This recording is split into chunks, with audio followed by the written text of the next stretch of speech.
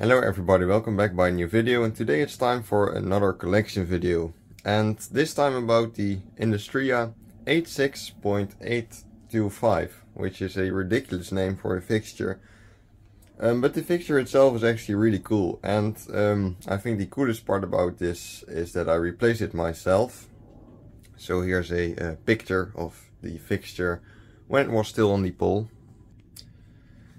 and these are actually quite rare and I saved uh, five more of these and uh, most are going to other collectors but are, there are still one or two that don't really have a destination so if there's anyone in the Netherlands interested in uh, this fixture then make sure to hit us up on DM or something. But yeah, this is a, a fluorescent fixture and it's actually really standard. I mean, design is nothing too uh, interesting, which uh, I kind of like. And this fixture is also really similar to the Industria uh, 2700 fixtures, which um, in my opinion look uh, worse. I mean, I don't think those are as cool and they aren't as old as these are. The uh, front of the fixture is like a lot more flat than uh, this fixture is. Outside of that, there are really no differences between the uh, unit itself. There's also no difference. But yeah, I don't know, I just like these ones better. And actually another fun fact is, um, so we, we replaced six of these in total, or seven. We replaced seven of these in total and um, I spent like, for each fixture, like half an hour trying to get this uh, thing off the pole properly. Which is, it's really not easy. It's a very, I mean for, I know in England this is pretty uh, usual, but for Dutch standards the uh, wide of this where the pole has to go in is like it's very small compared to uh, a lot of other poles and also it was just really difficult uh, to get this thing off especially because it's a quite fragile fixture once it's taken apart. The condition of the fixture itself is actually really uh, really decent still. For its age it's like 60 years old or something. There's still some of the original uh, colors on there um, which is this gray color but not much. And uh, the clips actually seem to be made out of copper uh, looking at the color. And the ball itself is made out of plastic quite fragile um, but still clear which is nice. So let's open the fixture itself which it has uh, four clips which go open quite easily still after all those years.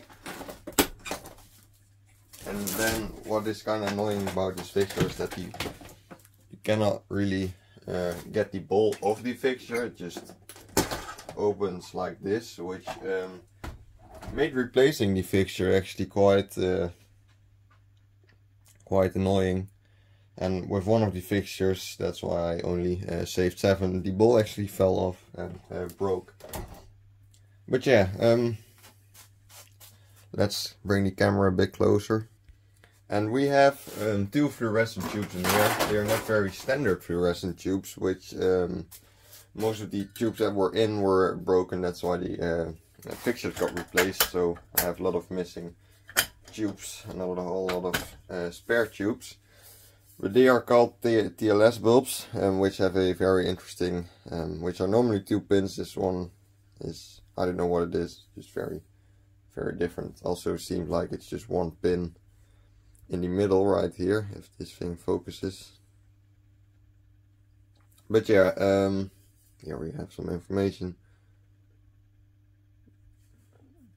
Philips TLS 20 watt um, gold white, which is the 33 color code.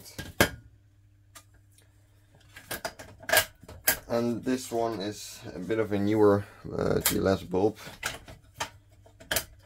but still been used for a long time. Philips TLS 20 watt uh, 640, uh, which is the newer color code.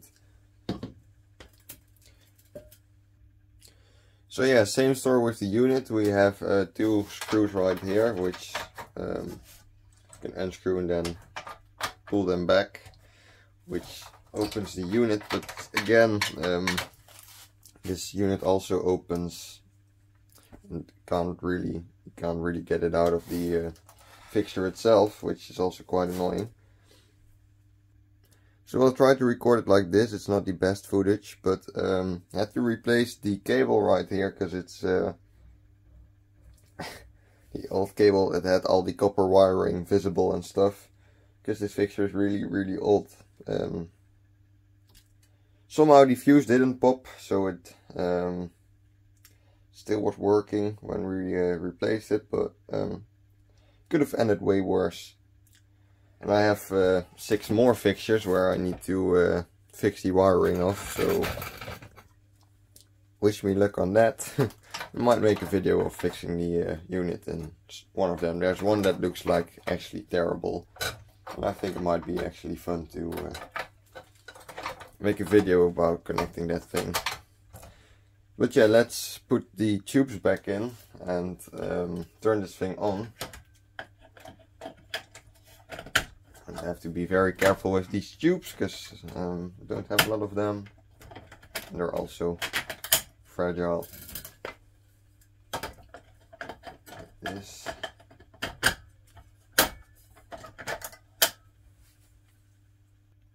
We have both names visible. So let's turn the fixture itself on. Um, the startup is nothing special. They are very not very bright uh, fluorescents. I think an 18 watt standard uh, fluorescent is more bright than this thing is.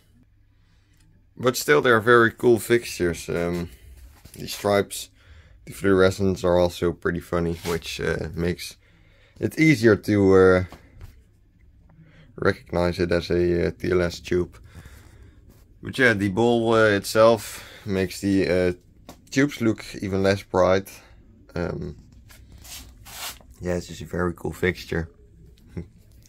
and also very small. Um, it's like not even 10 centimeters wide, which is incredible um, for a fixture. You can put many of these in your collection if you want. But yeah, sadly they are uh, extremely rare. Just I know that one that's still there, but I don't know if it's uh, been replaced in the meantime, which uh, I could imagine. And now that my neighbor is listening to Christian rock music, um, I think it's time to end this uh, video. So thanks for watching, have a nice day. Let me know uh, what you think about the fixture. And if you have an interest in one of these fixtures then let me know. And thanks for watching. Have a nice day